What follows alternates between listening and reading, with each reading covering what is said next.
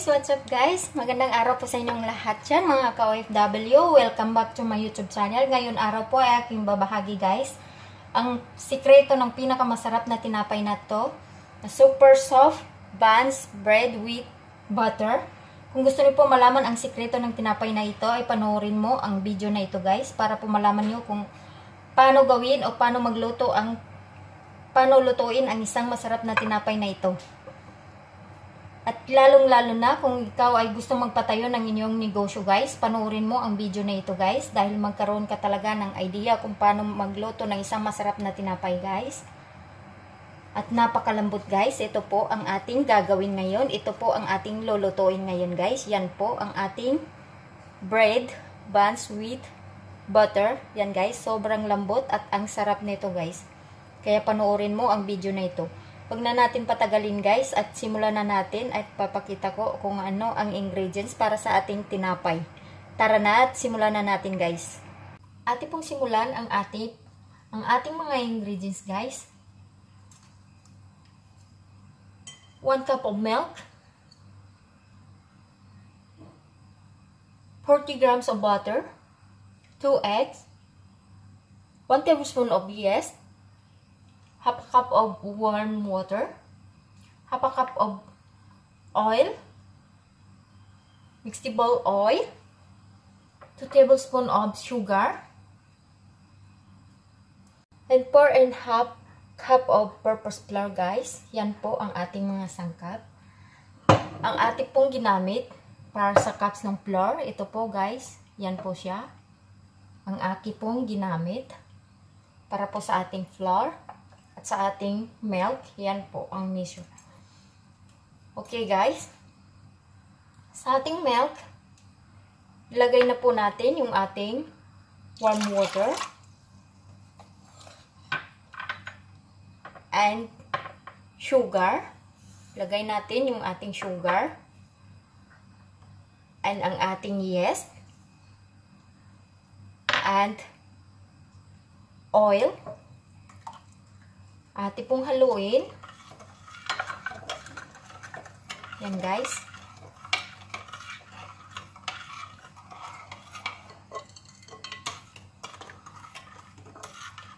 At hayaan po natin ang ating yes matunaw. Hayaan po natin ng 5 minutes bago natin ihalo sa ating flour. Guys, habang hinintay natin yung ating yes na malsa, yung isang itlog, ilagay natin sa ating flour. Yan guys. Ilagay natin ang itlog, hati pong aluhin.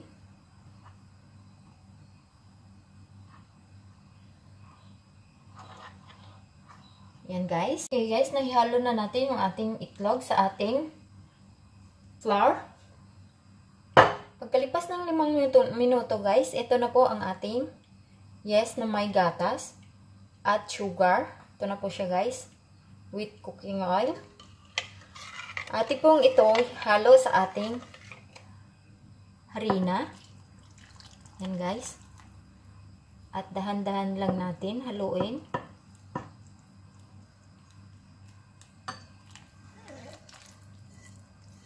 At atin na po itong imamasa.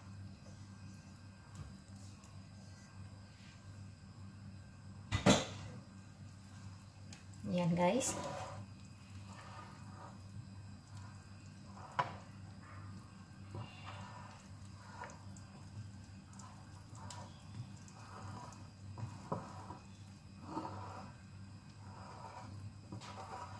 Pag naihalo na natin ang ating yes at ang sugar with cooking oil, Haluin lang natin maayos ang ating arena guys. Guys, mamasa lang natin maayos ang ating arena.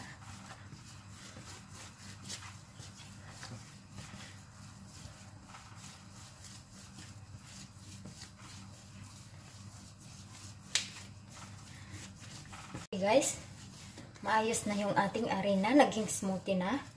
Yan guys. Sobrang lambot. Ganda kasi yung pagmasa ng ating harina. Kaya ganyan siya. Sa ating malinis na bowl guys. ati pong lagyan ng oil. Yan. Para po hindi didikit ang ating harina na ati pong papa-alsahin.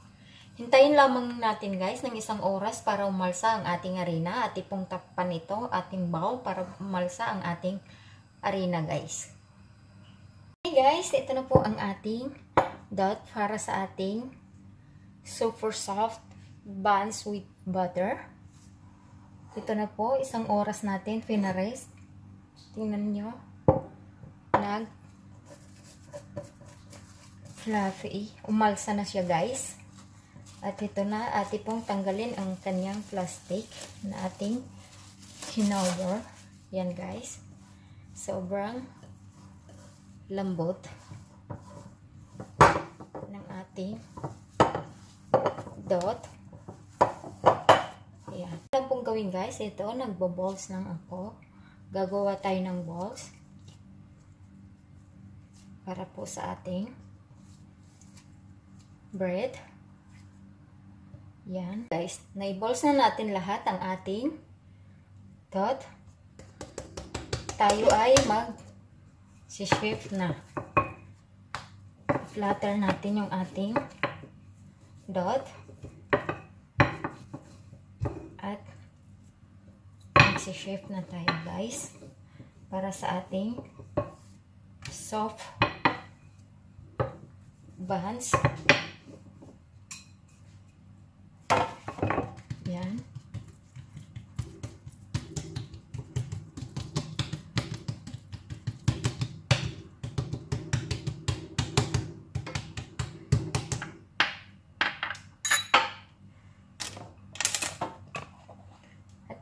na, na-flat na natin guys yung ating dot, yung ating butter. Maglagay po tayo sa ating dot na butter. Yan guys. At pag nalagay na natin yung at, ating butter sa ating buns, mag gamit tayo ng kutsilyo at atin lang pong i-slice pa ganyan ang ating dot. At i-roll natin pa ganito.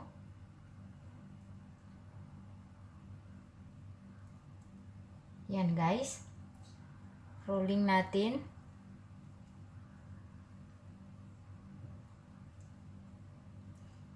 at nang may roll na natin guys atin na pong i-close dito sa kanyang dulo.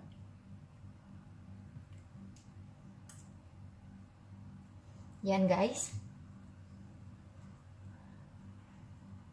Ito na po.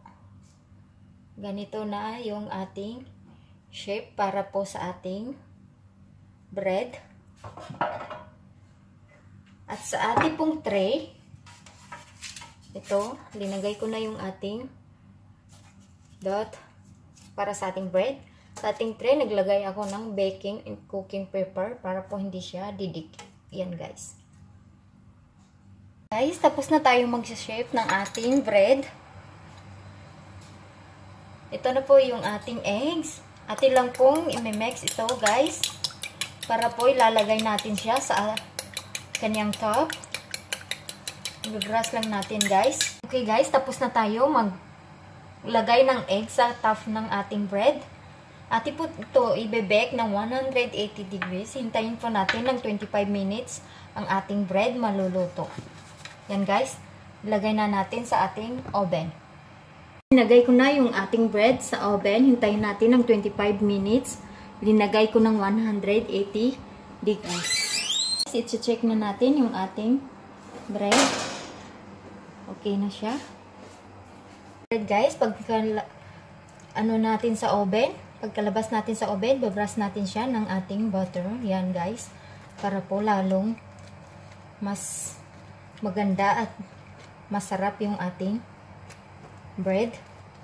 Guys, ito na po ang finished product para po sa ating soft buns bread with butter. Yan na po ang ating finished product guys. Sana po nagustuhan nyo ang recipe na ito dahil sobrang sarap at napakalambot. At ang ganda guys, pwede pang negosyo guys. Kung gusto niyo po mang magpatayo ng bakery, pwedeng pwede ito guys. Dahil madali lang po ang mga recipe natin para po sa ating bread. Sana po nagustuhan nyo ang video na ito. At kung bago po kayo sa aking YouTube channel, Please subscribe and click the notification bell para po maging updated po kayo sa aking mga susunod na mga video. Dahil marami pa po akong ibabahagi sa inyo na aking recipe para po sa pagluluto guys. Thank you so much sa inyong lahat. At huwag nyo rin kalimutan guys, i-share, like, comment ang video na ito para po mababasa ko inyong mga comment para sa akin. At kung gusto niyo po malaman ang recipe nito, tingnan nyo po, i-check nyo po ang description box dahil lalagay ko po doon sa aking description box ng video na ito ang aking recipe para sa ating super soft buns with butter. At maraming salamat po sa inyong lahat guys. Sana po nagustuhan nyo ang ating video na ito, ang aking recipe na ito. Thank you for watching guys sa lahat ng aking YouTube subscriber. Thank you so much guys. I love you all and see you on my next video. God bless you. Bye-bye.